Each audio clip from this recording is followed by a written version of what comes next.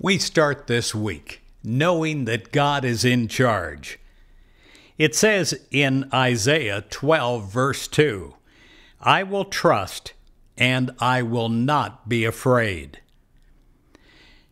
Perhaps at times you have felt that your life is out of control, and uh, in those moments, you didn't know what to do next.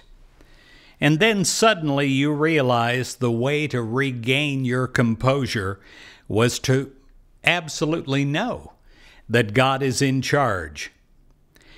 And you realized as you gave that power back to God and surrendered in the moment to the bad feelings that you were feeling, that you were affirming that God knows what is best, that God, the one power in the universe, is greater than any challenge that you could ever face.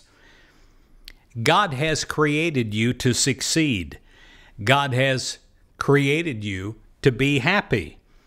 And as God is able to give you all that you desire, God is also able to give you a roadmap that will take you around any obstacle in your life.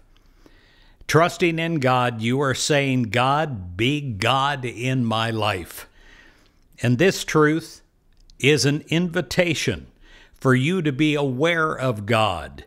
And because God is all, always, always, always aware of you and how to make your life better, you agree that God is in charge of your life, and you are assured that all is well.